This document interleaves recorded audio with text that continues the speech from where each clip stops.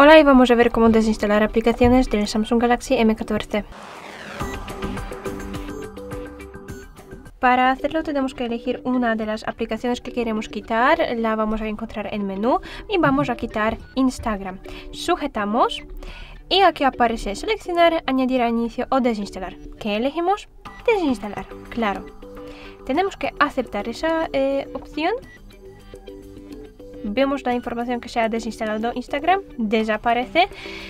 Pues es todo, pero si alguien no está seguro si se ha quitado eh, esa aplicación completamente del sistema, siempre lo puede comprobar en la aplicación Play Store. Aquí eh, encontramos la aplicación que hemos, eh, que hemos desinstalado hace un momento y si aparece la pestaña instalar, significa que todo ha salido bien. Porque lo único que podemos hacer eh, con esa eh, aplicación otra vez es instalarla.